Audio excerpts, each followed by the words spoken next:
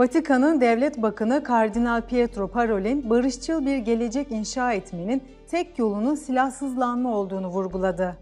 Vatikan'ın Devlet Bakanı Kardinal Pietro Parolin, barışçıl bir gelecek inşa etmenin tek yolunun silahsızlanma olduğunu vurguladı. Kardinal Parolin, ülkelerin ve halkların sesini duyurmak üzere yeni bir barış ve uluslararası dayanışma kavramı üzerinde çalışılması ve inşa edilmesi gerektiğini belirterek, savaşın kaçınılmazlığına değil, diyaloğa ve işbirliğine dayalı cesarete ihtiyacımız var. Başkalarının iyiliği adına askeri ve siyasi gerilimi yatıştırmamız gerekiyor dedi.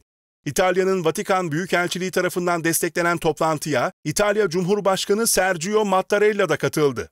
Toplantının amacı Doğu ile Batı arasındaki gerilimi yatıştırmaya çalışan ve yıllarca süren müzakereler dizisi olan Helsinki sürecinin ruhunu canlandırmaktı. Kardinal Papa Francesco'nun müzakerenin ve barışın sağlanması için tüm diplomatik araçların kullanılması çağrısında bulunduğunu açıkladı.